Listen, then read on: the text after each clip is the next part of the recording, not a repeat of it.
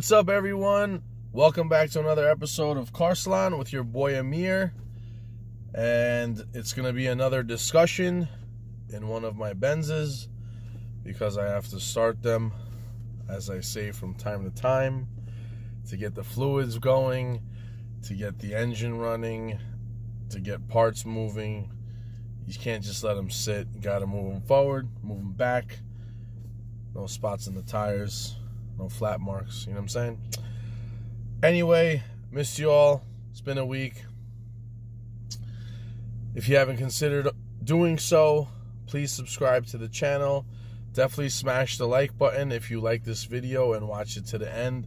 I'm gonna be I'm gonna be giving very good and knowledgeable information in this video. Key, very key factors on things that I want to mention in this video. And just a disclaimer this video is for U.S. purposes because I don't know how insurance and, you know, auto insurance and other in other countries work or how it exists in other countries but all I'm trying to explain for is in the US currently because I live in the US and I know a few things in New York that what happens or whatnot. So the topic of discussion today is getting your car fixed, God forbid you get into an accident, a fender bender, or whatever the situation, someone hits you, you get into something, you get hit while parked, any old bodily damage on your car that needs body shop work or auto body work.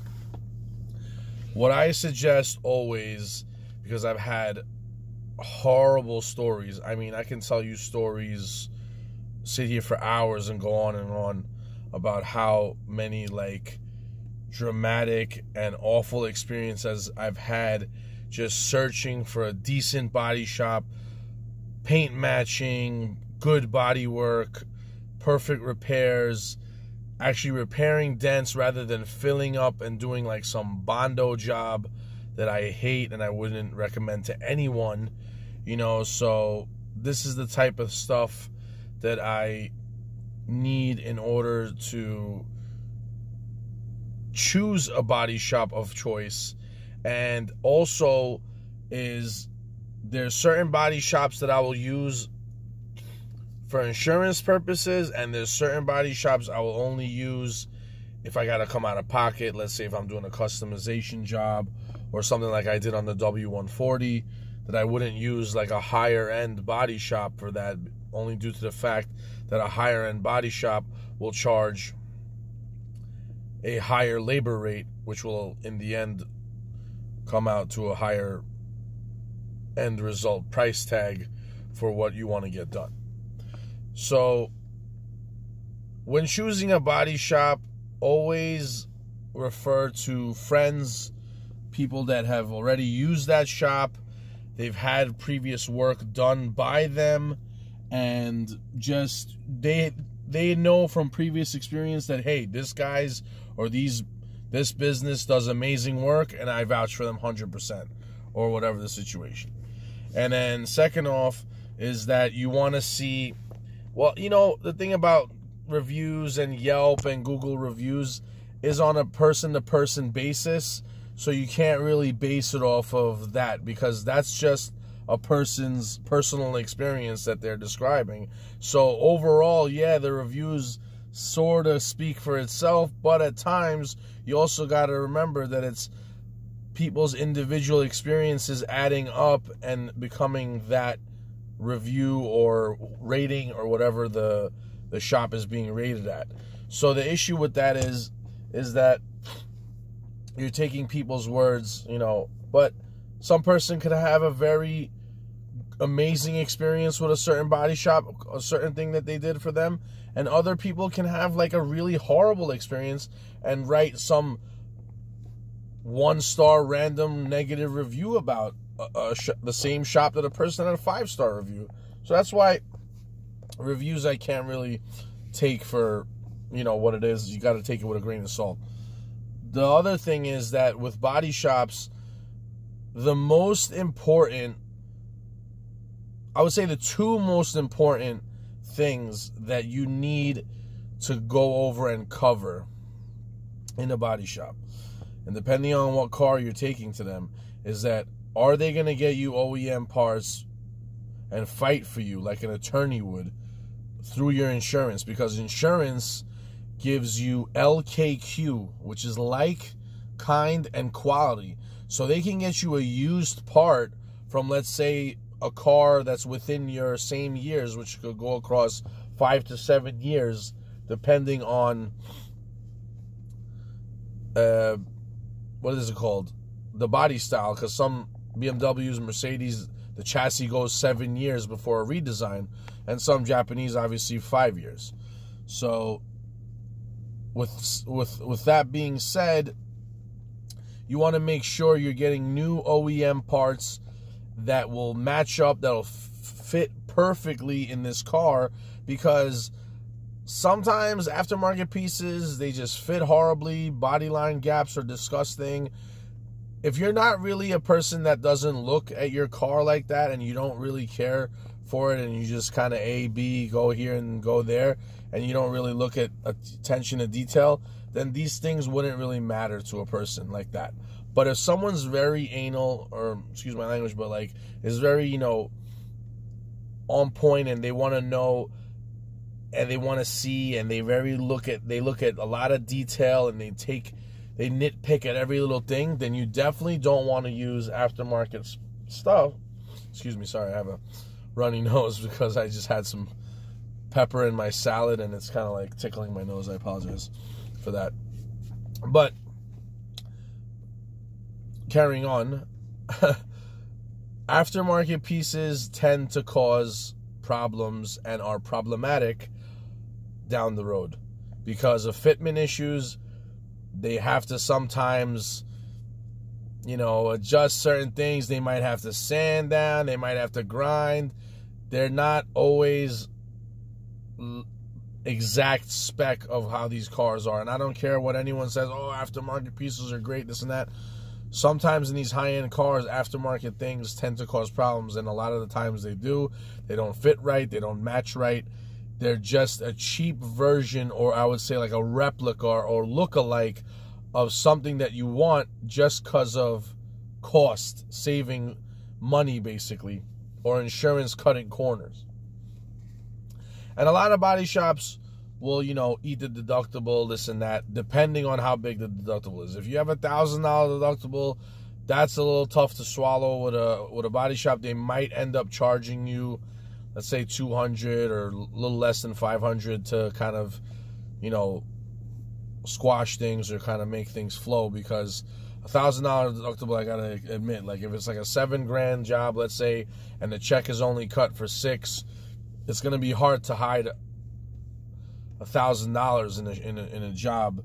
Definitely, if it's a very high end body shop that does amazing and exquisite work, very little bondo, very little body filler, and they repair the actual damage before even putting body filler and sanding it down. Because body filler is not something to play with. Like you could have a dent, and if you fill it with body filler, you you a little like you could open your door let's say and you hit another car while, while parked and you open your door you know in between when you kind of parallel park or what do you call it when you're in a parking lot let's say at a shopping center or a mall and you go and you know you open the door the car's tight next to you you hit it boom.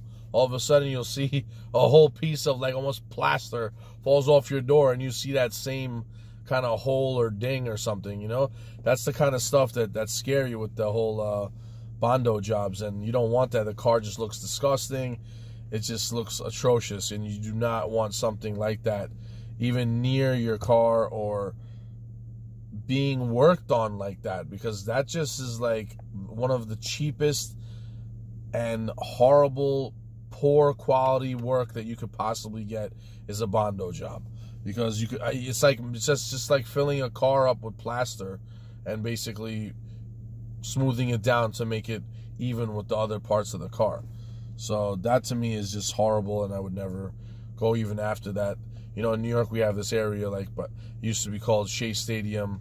We would call it Shea Stadium jobs because the Mets played at Shea Stadium, and there was a lot of these like kind of mama papa body shops that would butcher your car up for the cheapest price possible. You would come out and there'd be like fingerprints on your doors, in your paint, and like crazy stories.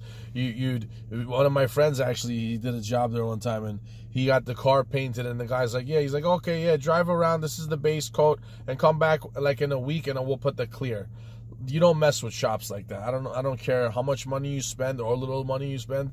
They got to put the clear on the car. You can't drive around with base coat and expect there not to be chips and dings and you know there's there's even the little minor little pebble hit your car while driving and the paint on the base coat's going to chip. Like what do you think?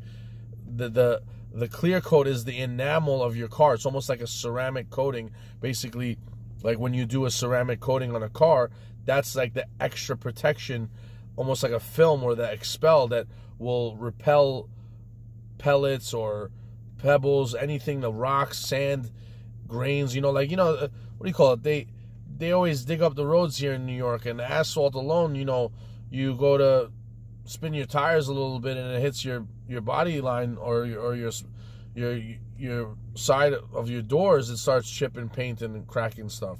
So you just got to watch out for these things because you got to make sure paint matches because and they do a quality job because in the end you're just to wake up every day to that car and it's going to be like a sore thumb sticking out like oh crap. Even body gaps.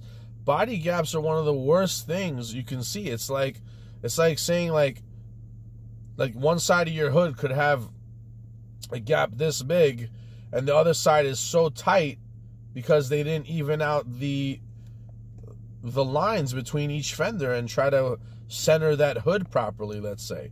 Or you could have a hood that's lifted up and it's not attached to the front bumper. It's like someone with their mouth open all day like this. Would you like i mean not to make fun of someone but i'm just saying it's like it's gonna it's just gonna be there and it's always gonna be on your mind and you're like what the hell did i pay for? Or what did my insurance pay for? And what a mistake I did by using this body shop. And then now you become an advocate or actually like a source for a body shop to advise someone and say, hey, don't go here, man. They do horrible work. They're going to butcher your car. So, in picking a body shop, you you got to be very. Hopefully, you don't. I, I don't wish. I wish everyone drives safe and have, you know, an amazing time with their car, enjoy their cars, and I would never wish an accident or body damage on any vehicle for that matter. But, you know, obviously crap happens and you don't want to deal with a horror show after the fact that you've dealt with something tragic or you've dealt with something that's so, you know, inconvenient that you inconvenience inconvenience yourself even more by picking a body shop that you never even heard of, or someone, let's say, sees you on the street and it's a body shop and they see the damage on your car and they're like, oh, hey, come to my shop, I got you, this and that. And they sell you this whole dream, and then all of a sudden your car comes out and it's got like pigments of blue in it and pink and red and green. You know you get you get your your rim sent out to a shop. Let's say if your rim was damaged they sent it out and they were supposed to you know, fix it OEM color and it turned out blue or pink or green because you got to also understand that in paint there's pigments that are mixed into paint or shades to kind of make that paint into what it is. And if the company or the paint company or the person mixing the actual solution or the formula to make that paint goes even a hair over, I'm serious. Like there, there's so very little room for grammatic error that like almost 0.1 or 0.01 could throw off a whole shade in a car or, or in the paint actually. I've actually spoken to someone who's a really professional paint guy and while he's mixing the paint he's explaining to me like you see he was showing me the computer and saying yeah this is how much you have to like put up the flakes or the or the clear coat or this is how much paint you got to put in it actually weighs it the machine weighs it. So once it reaches that level it's it it it, it basically beeps and says no more no more. So if you go to you know pour more or by accident you slip you just ruin that whole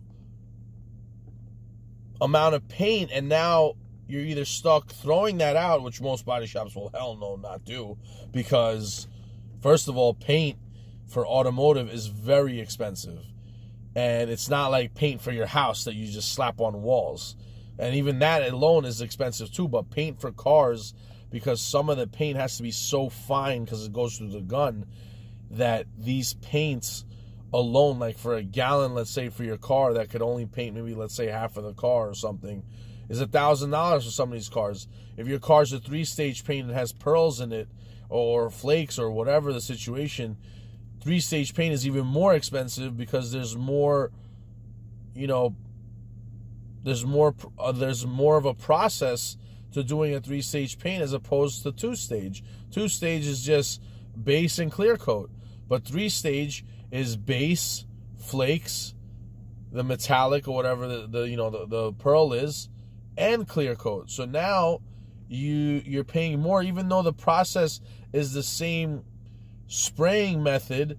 You, it just takes longer because now you got to do more coats. Like let's say if you do five to seven passes on the base coat, you you got to do another let's say two or three or four passes on the on the metallic or the pearl and then another two or three passes on the uh, clear. Usually, so, at times, the pearl is mixed with the clear, but for some reason, I think other shop, like some shops might do it differently. You know, depending on the shop, you never know. Some might put the clear, and then you know what do you call it? Some might put the pearl, then do the clear after, or some might mix it in with the clear, depending on what the process is. But all in all, you got to realize that paint matching is a very important thing, especially if your whole car is not being painted. Let's say your front end's being painted fenders, hood, front bumper. Okay, you also got to realize that your two front doors must be blended. That means that half the door must be sanded down and p- painted on that half to blend into the fenders and basically match the fenders, match the front end, the hood, and the bumper, and then from the door to the whole front be cleared altogether. So only half the doors are painted and then it's cleared all around. So that in all in all is what you want to know and what you must know about body shops and if they do these things because if they cut corners and they just paint it from the fender line or the beginning of the fender and just go forward and they don't do any blending, you're literally going to have a apple and orange paint job and I'm telling you it's going to look ridiculous. You're going to have a paint job where there is what do you call it? Sorry about that. Where there is paint that looks literally almost like I don't know how to say it. Let's say like let's say your shirt is black and your pants are dark like blue. You know what I mean? Like I, I don't know if you can get that kind of contrast because next to each other you will exactly see that this paint looks this color and this paint looks that color because this is the original color on the doors, but the fender is new and it'll be a complete variance. I don't care what anyone says, it will be if nobody blends. Even when they do a back bumper, a bumper alone, if they don't blend into the quarter panels, you will have a car that will look atrocious when that bumper is attached on. It'll look like something that was just slapped on that doesn't even belong to the, to the car because all it is is fresh paint and the older paint is going to look out look like a sore thumb and it's going to stick out like a sore thumb it's going to look horrible it's going to be even if it's from the best body shop best paint work it doesn't matter if they did amazing they got to blend blending is the key and the secret to making a car actually look all around like it all matches because that blend alone is what throws off almost like an illusion to say, wow, it looks really good now. It doesn't look, you know, there's no variance. Like you will see a variance 100% no matter what. if you have a car and let's say your whole passenger side needs to be painted, you can literally compare it to the rest of the car. And if it's not done properly, it will be a total different shade. It'll just look horrible. You will not be satisfied with the job and you'll just be upset. Like, I'm a very picky guy when it comes to these things, and I get really upset and furious when it happens. But, you know, the crazy thing is that when it does happen, what are you going to do? You're going to say, hey, do it over? Like, the, the job's already done. What's done is done. You're not going to go there and say, hey, you know, do it over. I don't like this crap. This looks horrible. Nobody has time for that. They're not going to spend an extra, you know, to try to fix it. And then who knows if it comes out, it might be worse than when the first time they gave you. So you just got to deal with it and eat it, I guess, as they say. But anyway, that's the situation with insurance and auto body work.